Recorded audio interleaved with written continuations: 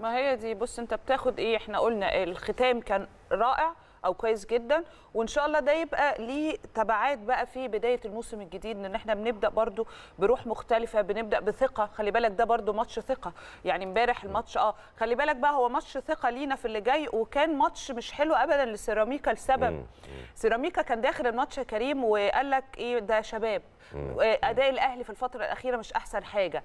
آه، لأن سيراميكا كان بي يعني كان أداؤه كويس في الأربع ماتشات الأخرانيين بتوعه مش وحشين ابدا. لكن أنت لما جيت تلاعب الأهلي أنت شايف إن أنت بتلاعب شباب؟ فممكن يكون في نوعا ما نوع من الاستهتار. في النقطة الثانية قال لك إيه الأهلي مش كويس ومش في حالاته فأنا مش إيه مش هدي للمباراة أهمية كبيرة. فلما ما اداش المباراة أهمية كبيرة استطعنا إن إحنا يعني نحصد أو آه، يعني نحرز أربع أهداف وأربع أهداف جميلة جدا بالشباب بتوعنا اللي برضو بنرجع ونقول اخذوا فرصة ذهبية ولازم يحافظوا عليها. يعني في أوقات كده الإنسان بيجي له فرص وأنت اللي بتبقى مسؤول عن الفرصة دي محدش. تاني. أنت يا إما بتنتهز هذه الفرصة وبتثبت نفسك أو الفرصه بتروح من إيدك وما تلومش حد بعدها. صحيح. فدي كانت مباراة رائعة جدا. حمزة علاء أنا متفائلة بيه جدا على فكرة. يعني لاعب آه يمكن صد كورة بس بداية موفقة جدا. إعطاء الثقة الثقة مهمة جدا يا كريم. الروح المعنوية حلوة.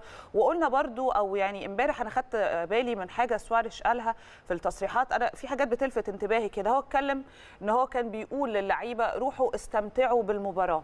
دي نقطة حلوة ليه؟ لأن أنا لما المدير الفني بتاعي يقول لي روح استمتع مثلا نطلع على الهواء أستاذ إيهاب الخطيب يقول لك استمتع بالحلقة فدي بتدي نوع إيه؟ بتخفف الضغط من عليك، في ضغط يخف من عليك بشكل كبير جدا وابتدي يبقى إيه؟ أنا فعلا عايزة أستمتع بالمباراة وابتدي أأدي الأداء بتاعي أنا اللي أنا بستمتع بيه مش اللي أنا ببقى بلعب وخايف حاجة ركلة تبقى غلط مش عارفة شوطة تبقى غلط فالمدير الفني يبقى فوق راسي يعني كان في فعلا امبارح استمتاع بالمباراة من اللعيبة ومن الجماهير وده الأداء الهجومي اللي إحنا شفناه من النادي الأهلي اللي إحنا نعرفه بقى. ما هنرجع تاني.